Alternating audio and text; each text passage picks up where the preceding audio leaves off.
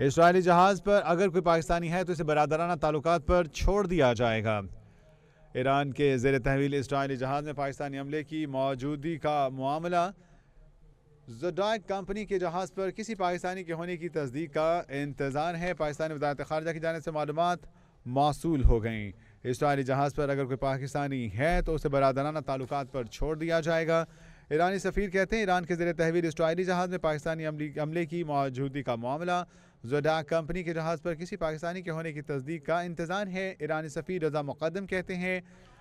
زوڈاک company کے جہاز پر کسی پاکستانی کے ہونے کی تصدیق کا انتظار ہے۔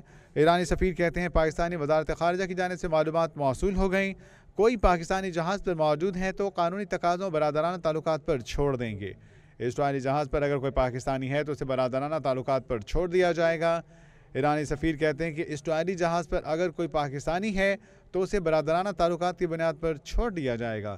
ایران کے زیر تحویل اسرائیلی جہاز میں پاکستانی عملے کی موجودگی کا معاملہ زوڈا کمپنی کے جہاز پر کسی پاکستانی کے ہونے کی تصدیق کا انتظار ہے۔ ایرانی سفیر رضا مقدم کہتے ہیں کہ زوڈاک کمپنی کے جہاز پر کسی پاکستانی کے ہونے کی تصدیق کا انتظار ہے۔ ایرانی سفیر نے کہا، پاکستانی وزارت خارجہ کی جانب سے معلومات موصول ہو گئی ہیں۔ کوئی پاکستانی جہاز پر موجود ہیں تو قانونی تقاضوں اور برادرانہ تعلقات پر چھوڑ دیں گے۔ اسرائیلی جہاز پر اگر کوئی پاکستانی ہے تو اسے برادرانہ تعلقات پر چھوڑ دیا جائے گا۔ ایران کے زیر تحویل اسرائیلی جہاز میں پاکستانی عملے کی موجودگی کا معاملہ زوڈیک کمپنی کے جہاز پر کسی پاکستانی کے ہونے کی تصدیق کا